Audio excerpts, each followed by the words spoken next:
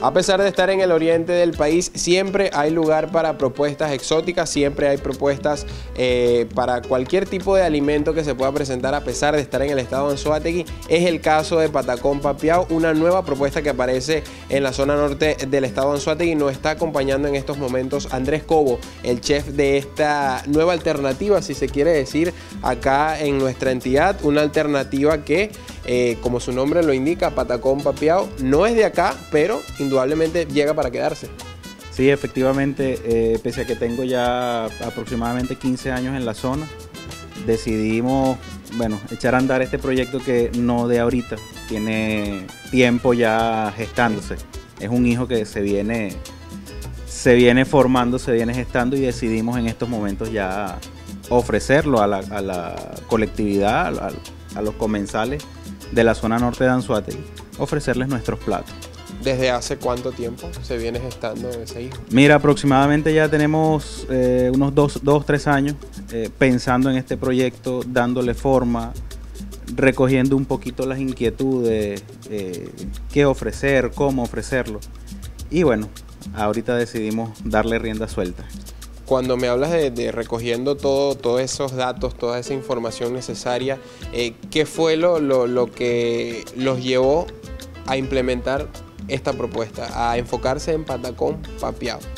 Mira, principalmente ofrecer una opción distinta a las que muchas hay en la zona.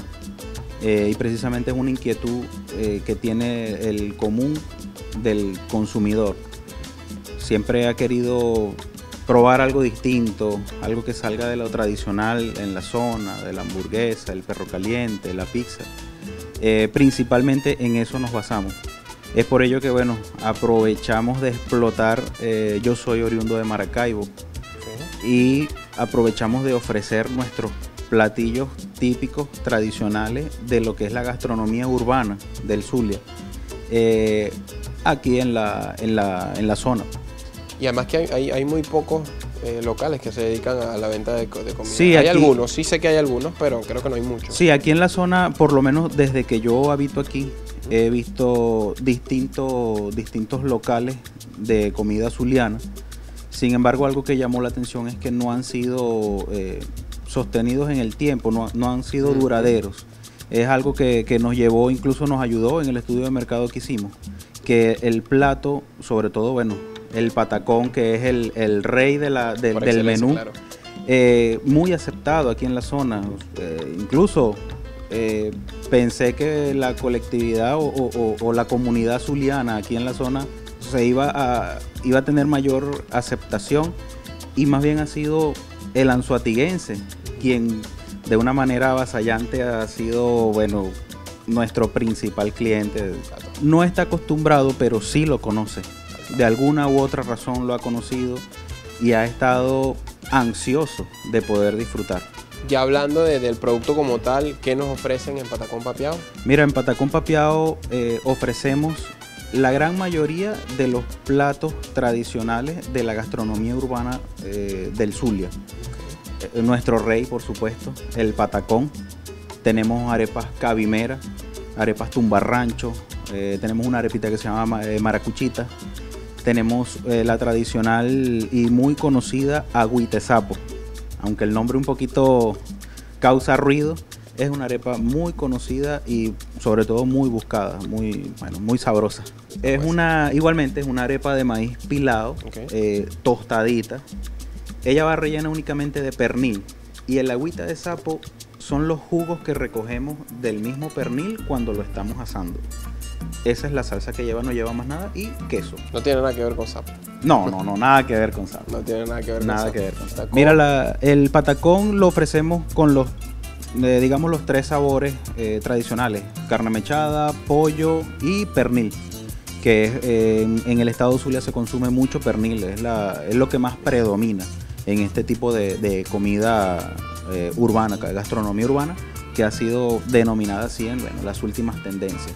¿A qué aspiran ustedes con este proyecto que ya, como bien, lo mencionan, tenían mucho tiempo gestando y que ya finalmente comenzó a caminar?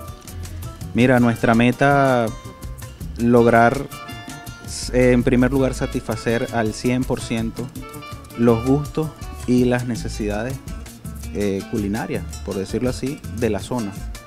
Y por supuesto, expandirnos lo más posible. Incluso nuestro, nuestro sueño, nuestra meta es llegar a franquiciar a Patacón Papiao y es por ello que nosotros desde el principio hemos tratado de ser muy cuidadosos en nuestras recetas, tratar de mantener eh, fórmulas de manera que siempre tengamos el mismo sabor, que siempre tengamos la misma frescura en nuestros productos y no, no suceda que hoy vine y el, eh, eh, estaba más salado, estaba menos salado, que siempre tengamos el mismo sabor, porque nuestra meta es lograr convertirnos en una franquicia de comida zuliana, comida chatarra, gastronomía urbana.